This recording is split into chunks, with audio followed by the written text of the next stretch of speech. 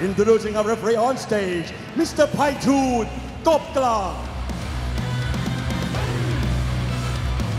And now, ladies and gentlemen, introducing first, fighting on the red corner, 26 years of age, his hands when it had in his toe weighted 147 pounds. He holds record of 84 wins, 16 losses and 5 draws. He is a former Channel 7 champion and former WMC World Champion and former Lumpinee Stadium champion representing Surin Province, Thailand.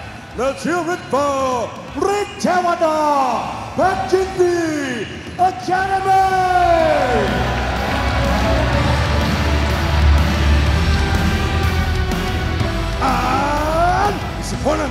Fighting on the blue corner, 26 years of age. His hands 179 centimeters tall and weighing 146.7 pounds. He a record of 56 wins and 24 losses. He is current Thailand Super Welterweight Champion, representing Ubon Ratchathani Province, Thailand.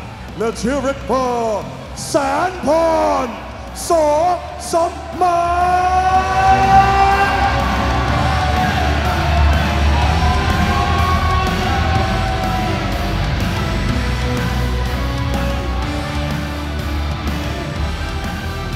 Right, well, we know Hercules is in the final. Who will join him?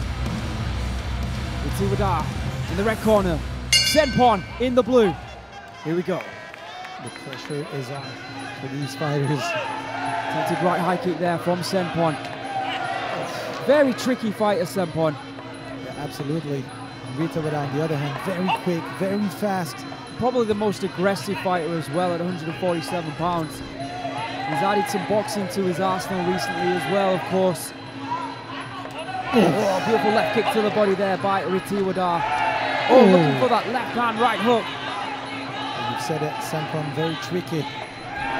Indeed.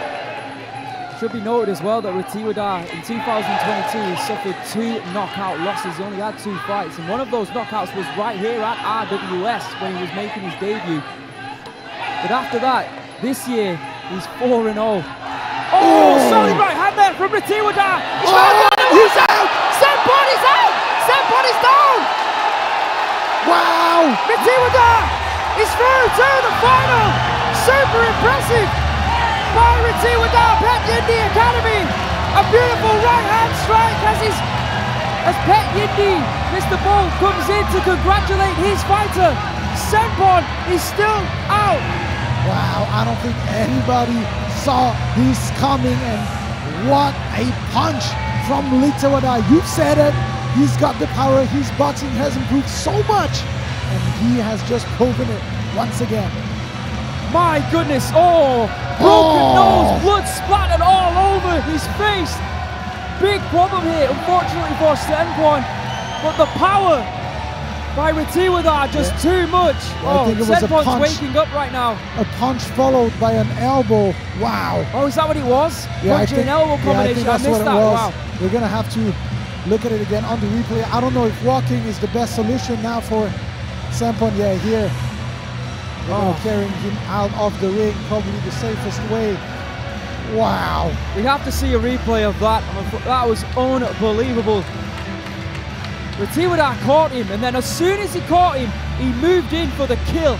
And my goodness, what a kill it was against someone as incredible as Saenpon. Remember, Saenpon defeated Sajjad to get through to this final four. Let's have a look at the highlight. What happened there? It was Oh, followed you by an elbow. Wow, and the elbow. That left hand, his momentum went against the ropes. He bounced off the ropes and straight into the elbow Oh. of Rittewada, down he went, and down he stayed. Perfectly executed by Rittewada.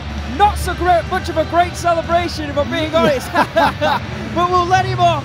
Look at it again. Bang! Oh. Right on the money.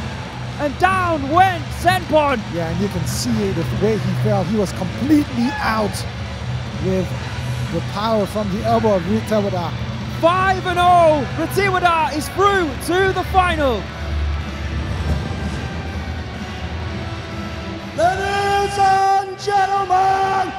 of the 56th second of the first round, we have a winner by